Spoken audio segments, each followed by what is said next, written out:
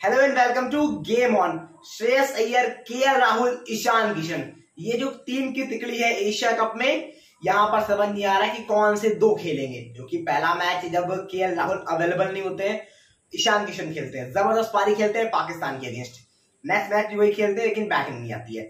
तीसरे मैच में श्रेयस अय्यर इंजर्ड होते हैं। के राहुल वापसी करते हैं। के एल राहुल शतक ये पारी खेलते हैं। अगले मैच में उनतालीस बनाते हैं। लेकिन अब अगेन जो चीज़ जो रिपोर्ट निकल कर आ रही है, वो रिपोर्ट और खबर ये निकल कर आ रही है कि श्रेयस अय्यर अब फुली फिट हो चुके हैं।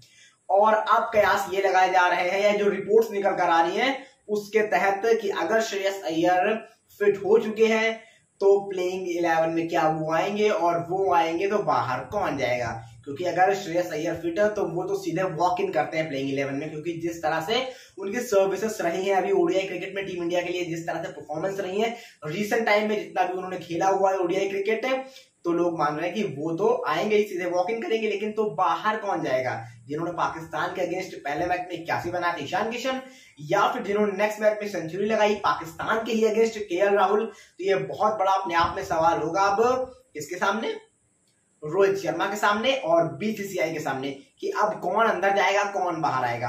हालाँकि रिपोर्ट्स की माने और जो भी खबरें चल रही हैं अराउंड द वर्ल्ड क्रिकेट के तो वहाँ पर हम साफ़ तौर पर देखेंगे कि ईशान किशन का नाम सामने आ रहा है, क्योंकि पहले मैच में ज़रूर इक्यासी बनाए थे नेक्स्ट मैच में बैटिंग नहीं आई और अगले मैच कुछ तीस बत्तीस बनाए, ठीक बैटिंग कर रहे थे, लेकिन काफ़ी स्लो खेल गए थे। तो यही बात हो रही कि शायद ईशान किशन को ही बैठना पड़े। अगर श्रेयस अय्यर फिट होकर अगले मैच में आ जाते हैं।